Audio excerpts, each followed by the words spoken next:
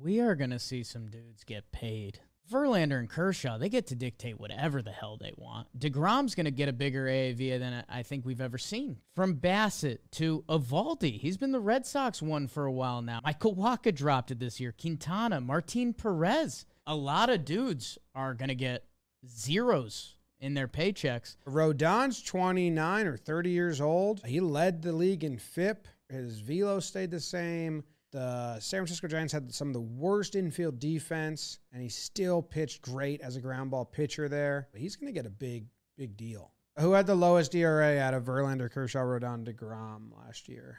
Verlander, right? Verlander, 175. Who had the second lowest? Kershaw. 228. Kershaw gets no respect. It kind of doesn't, man. He doesn't. It's because he wears Skechers. Skechers.